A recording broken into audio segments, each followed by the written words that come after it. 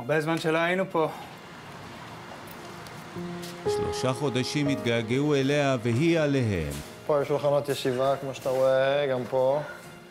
ברמנים, אה, קופה.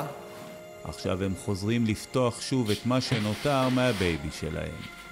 את הלב נתנו למסעדה גם את הנשמה, עם כל החסכונות שפוזרו בכל פינה, עכשיו מבט אחרון לפני הפרידה.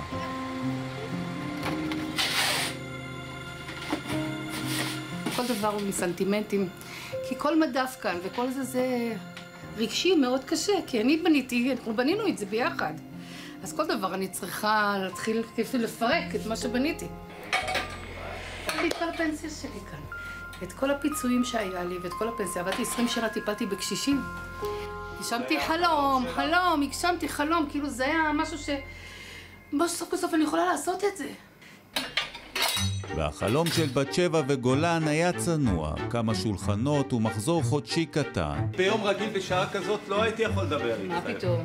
ובעיקר אושר לראות במשך שנתיים את הסועדים הירושלמים נהנים מקובה ביתי חריימה ונוסטלגיה. הקובה של בת שבע ושאר התבשילים זה משהו שאי אפשר להסביר אותו. אני, יש לי מסעדה, וגם אצלי עושים קובה, אבל אני אוכל אצלה. אני אוהב אותך. אני. השם ישמור אותך. אם היו מקבלים עזרה מה- מהממשלה או מהמדינה, בוודאי? המדינה הייתה תומכת ולהיכנס תחת האלונקה, היו יכולים לשרוד. אבל מי שעושה ככה מצליח. היו פה שפים שאכלו. היו לפעמים באים לפה לאכול, ואנשים עם דמעות בעיניים, שזה הזכיר להם את הקובה של הבית, של הסבתא. זו הייתה המשכורת שלי. האהבה של האנשים לאוכל, לאה, זה, זה היה כיף בשבילי. אפילו מצווה להאכיל את מי שאין לו הצליחו. עכשיו אין מי שיעשה מצווה ויציל אותם. כשפתחתי עם בת שבע ביום הראשון את המסעדה, אמרתי לה, תקשיבי, בת שבע, כסף לא חסר בעולם הזה. כל אחד יש את הקצת שהקדוש ברוך הוא נתן לו. אבל יש כאלו שאין להם מה לאכול. אם את בראש שלי ויעבור פה בן אדם שאין לו מה לאכול, אני רוצה שהוא יישב פה, וזה יהיה ההנאה שלי. זה יהיה הכיף שלי. והייתי בא אליהם ככה באוזן ואומר להם, הכל בסדר, תאכל מה שאתה רוצה. והייתי שם לו עוד ועוד. זה היה לי יותר כיף מאשר בן אדם בא ויגיד לי, קח 100 שקל על המנה. ואז באה הקורונה, הסגירה הארוכה, החובות והלילות בלי שינה. אני עסוק בזה 24 שעות, איך אני מכסה את החובות, איך אני יוצא מזה לדרך חדשה. אז יש איזה 40 אלף שקל שהם במינוס בבנק, עוד ההלוואה, ועוד צריך לשלם לכאן, ועוד כמה צ'קים שעוד לא ירדו. זאת אומרת שכל זה מצטבר בסביבות ה-100 אלף שקל, שהאמת היא, אין לנו מאיפה להביא את זה. אין לנו להתחיל מחדש. כי שמנו כאן את הכל כבר. כל מה שהיה שמנו, אין אפשרות להוציא יותר. גולן ובת שבע לא הצליחו לקבל פיצוי או הלוואה. עכשיו מה שנותר להם הוא שבוע לפנות, ואולי להציל את הציוד שנשאר. הבנו שאין פה כבר על מה להילחם, אין פה על מה להמשיך את המסעדה, והיום אנחנו במצב שלא אין- קיבלנו שום עזרה מהממשלה. הממשלה לא תמכה בנו. כל ההצהרות בטלוויזיה וכל הזה, 80 מיליארד שקל כבר הקציתם לזה. איפה הכסף הלך? למה העסקים הקטנים לא יכולים להרים את עצמם? אפילו לא נתתם לנו חמצן להרים את הראש מעל המים. אנחנו מרגישים שאנחנו שוקעים ושוקעים, ואף אחד לא עוזר לנו. לא עם חשמל. אין לו. ניתקתם חשמל. ניתקנו חשמל כבר. זאת מכונה שהיינו מכינים איתה את כל המיצים בסחיטה קרה. כל האוכל עם כל המזונות עם הסופר פוד, זה היה פה המבורגר אפילו שהיינו עושים מפטריות ומעדשים שחורות, והרחמניה עצמה גם הייתה לו גלוטן את המיונז, גם במקום ביצים היינו עושים את זה משמן זרעי ענבים ו... זה היה הולך עד כזה? מאוד. כן? שישי שבת אתה לא יכול להכניס פה סיכה. מה אתה אומר? תור בחוץ. Audie, your clothes. Yeah. Ooh.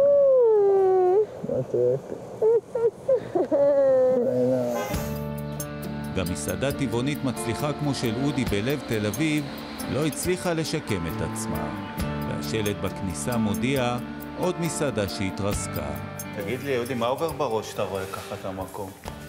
מבאס לאללה.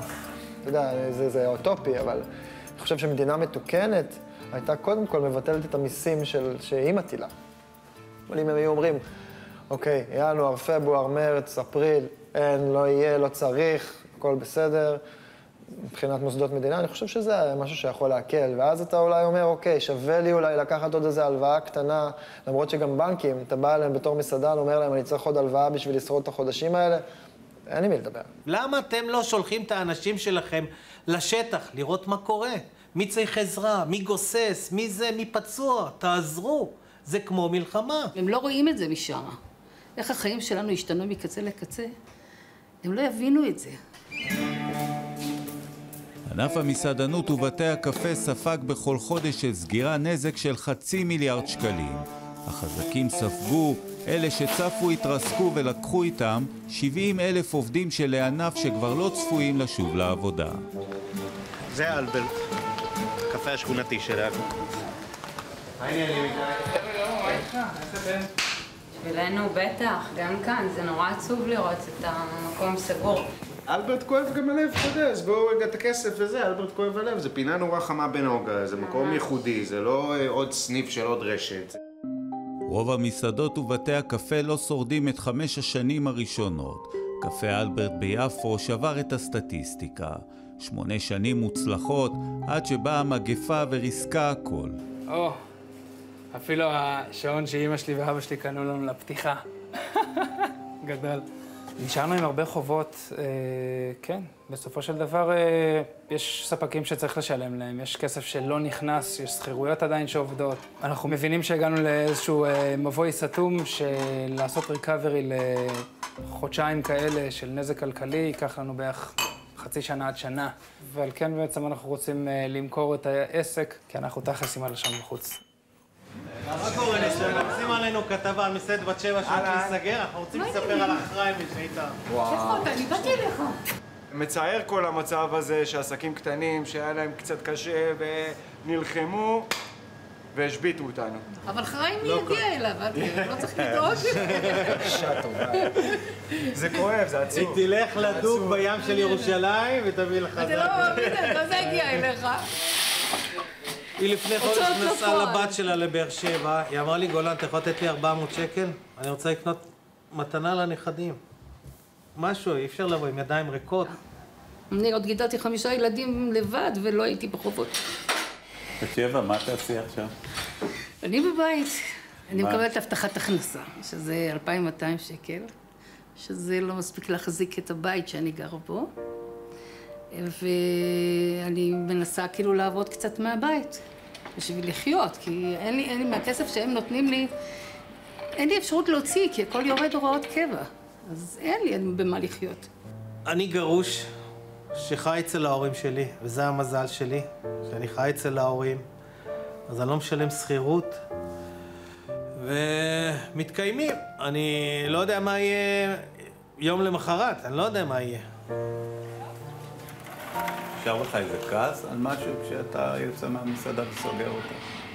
אכזבה בעיקר, שהמדינה לא מסתכלת עליך כשאתה צריך אותה, ואתה זועק לעזרה, ולפעימה הראשונה אתה לא זכאי, ולשנייה אתה לא זכאי, ולשלישית אתה אולי זכאי באיזשהו אחוזון מסוים, זה לעשות מאיתנו צחוק מהעבודה לדעתי.